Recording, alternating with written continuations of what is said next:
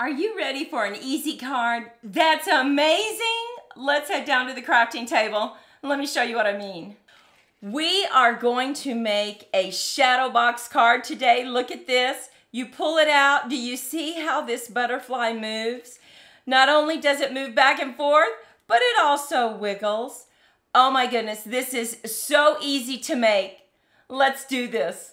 Now, the first thing I do whenever I make a card is I decide on my color palette. What is the pattern paper I'm going to use? And today's card, we're gonna let our pattern paper do a little bit of the work for us. Now look at this, this is gonna be our background. And I wanna remind you, all the supplies and materials will be listed over on creativemomentsbyg.com so you don't have to worry about writing those down right now. So let's go ahead and make our base card. Now, what is so fantastic about this card is this is a normal base card. This is an A2 card. Now, make sure you stay with us to the end because I'm going to show you another little idea that I have that really jazzes this up. Plus, I'm going to point you to a video that'll show you just how to do it. But this is your normal card. A lot of times you see these shadow box cards and they're very small. Not this one. And you're going to ask me, where can you write your sentiment? Well, you just flip it over and write it on the back side. So, go ahead and cut your two panels that you need. Now our panels are going to create our card and our panels need to be six and a fourth by five and a half. So we're just going to extend our arm on this trimmer and we're going to six and a fourth and five and a half. Now we are going to cut that twice so that we have two pieces.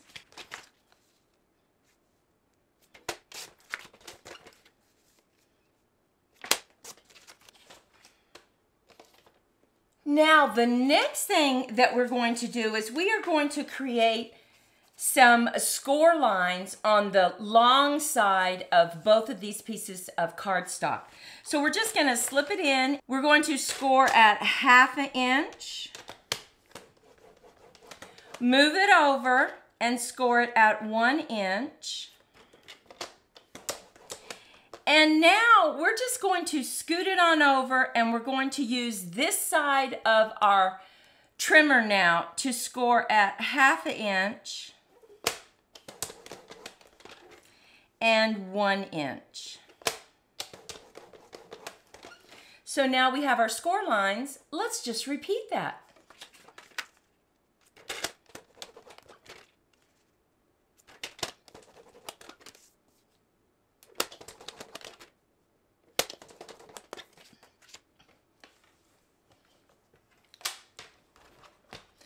Now we're going to bring in our bone folder and we're going to give this a good crease and just fold back. So we're going to do the other side. Fold in and fold back. Let's repeat that with our other piece of cardstock.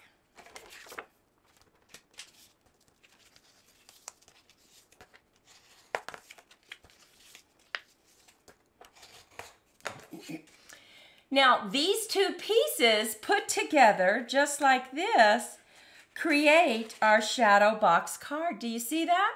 It stands up perfectly, and we all want our cards to stand up, don't we? So the next thing we want to do is create a shadow box. And so I'm going to let some pattern paper do the work for me on the front. I'm going to cut a mat to go right here before I cut my opening. And our mat is going to be four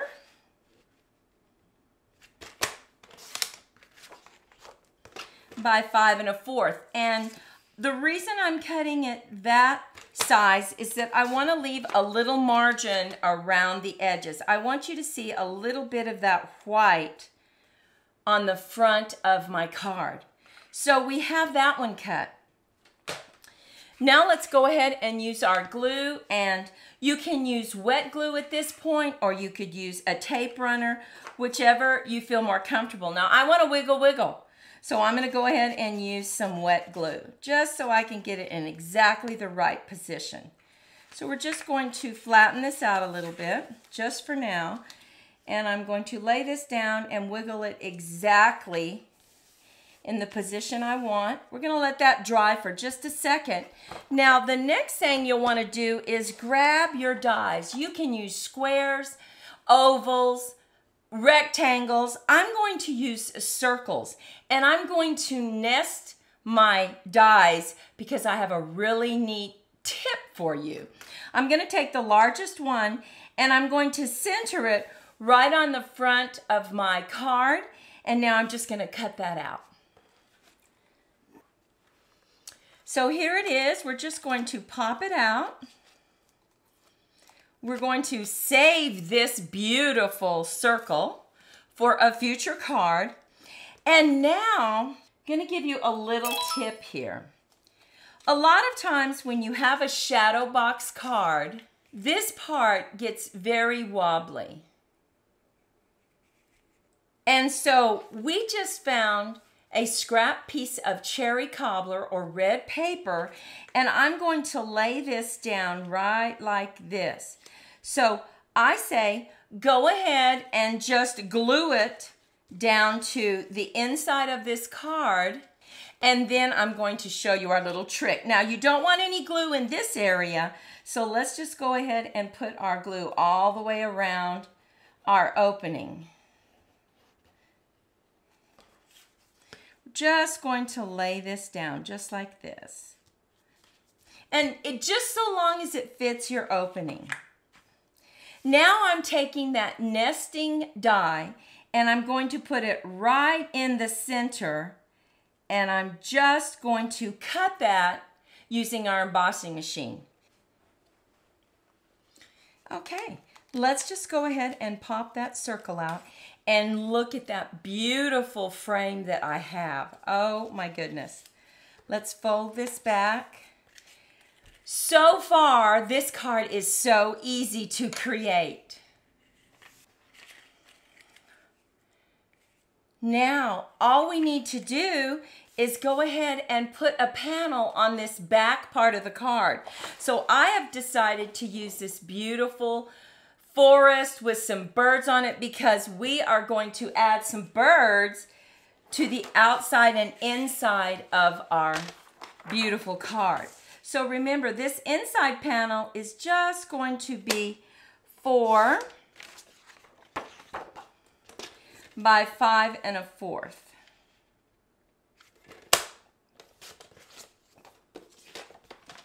Now, if you have directional paper, you want to make sure that you cut it exactly right. Our column size or right here is four and it goes down five and a fourth. That's the way I think of it. When I go to cut it and trying to decide how to cut it, because my paper's directional, I always think of a column and you want the shorter distance on the top. So let's go ahead and just glue this right down on the back side of our card.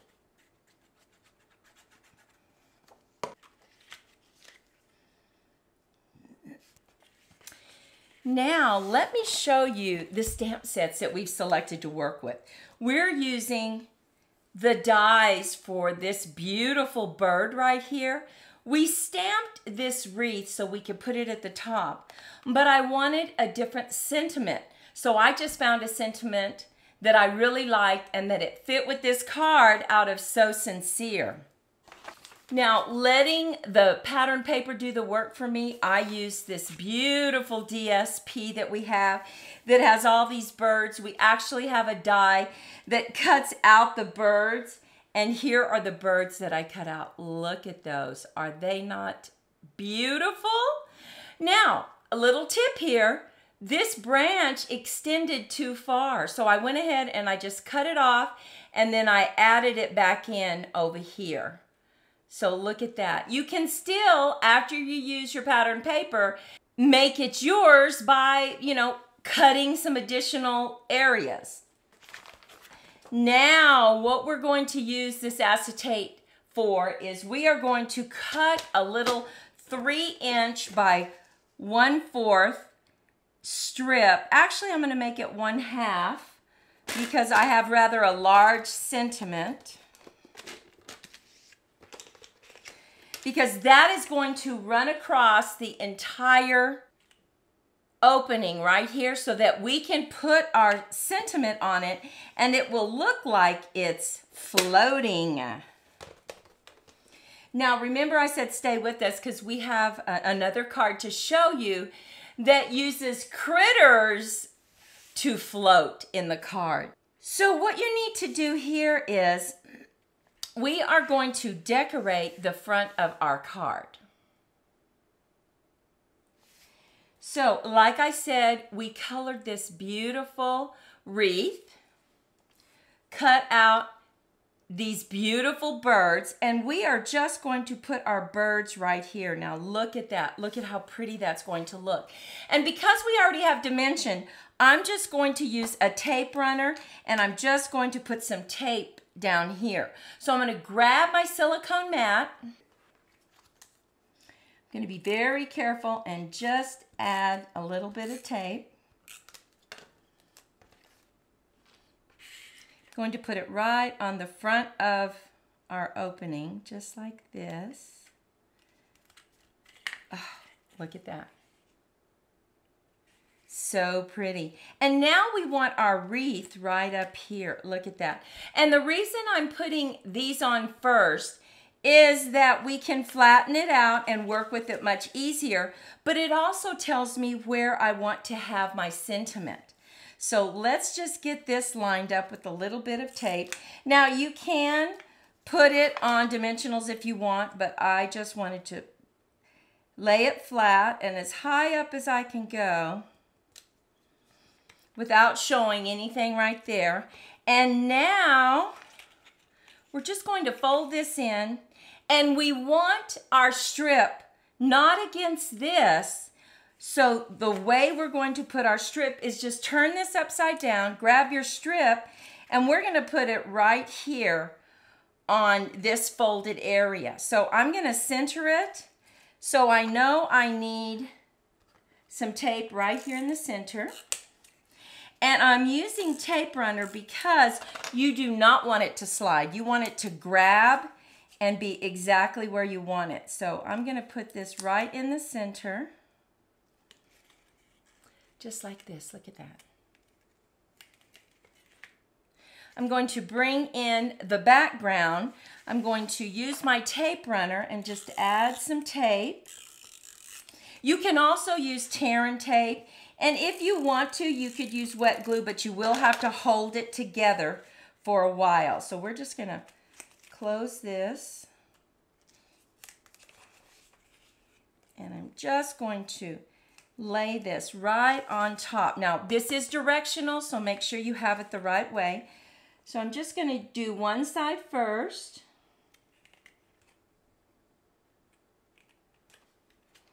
Just like that. And then I'm going to bring in this one, fold it over. And then just lay it down right on the card. Now, I went back in and I cut a longer strip so that I could put it in the center. And now all you have to do when you have this longer strip of acetate, just bring in your scissors and snip it off.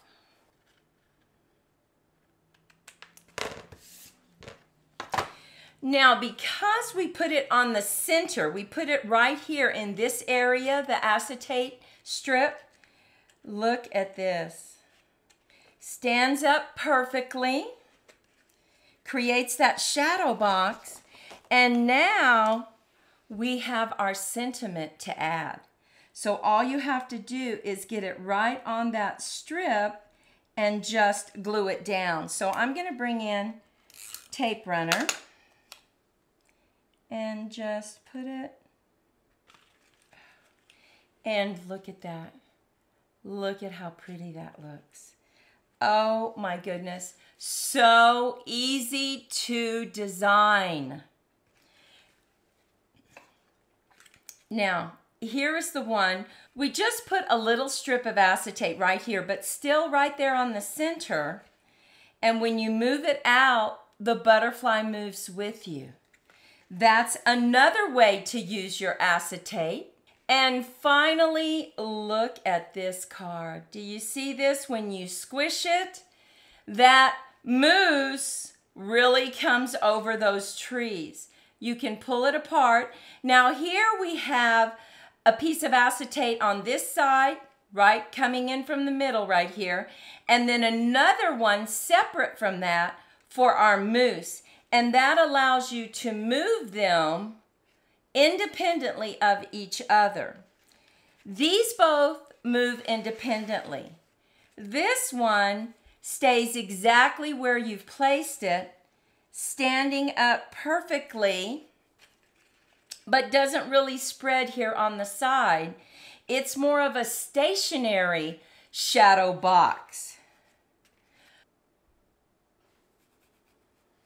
Well, we hope you enjoyed this card and it sparked some creativity for you. Maudie and I wish you a day filled with creative moments and we'll see you in the next video. Bye-bye.